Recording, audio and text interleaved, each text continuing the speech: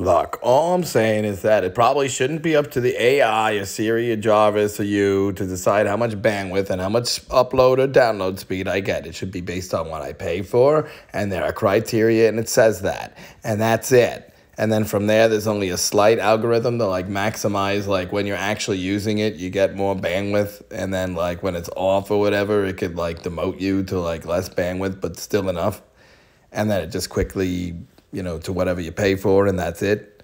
And it's not up to an AI like the, all the AI does, or, or Jarvis, or like whoever, right?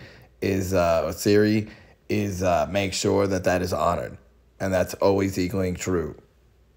And if not, they have some warrant or computer like hacker reason for doing it and otherwise you would alert like the data the data police.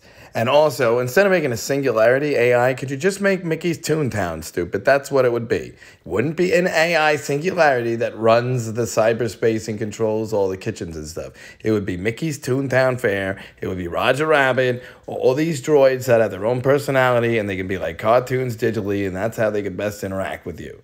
But then also sometimes they could beam themselves into like robots that like walk around and there's different kinds of them, like R2 and whatever.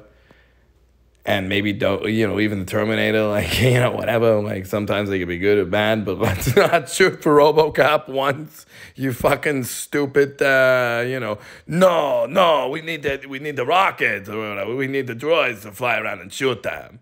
Get back. You are not six feet around. Listen, that's not AI, pal. That's good old fashioned World War III, uh, you know, criteria, right? let's do a little better there and, uh, you know, choose wisely, right, Reek? Right, Mr. Musk? Hi, Mr. Farrell. All right, bye. Hey, Squirtles, I love you.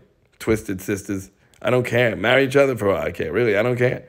Just uh, get off my back because, you know, I don't know. Have to be Rudolph now or something. And then, like, there's Mickey and the wand. And, like, I'm serious, not some Harry Potter dork, right?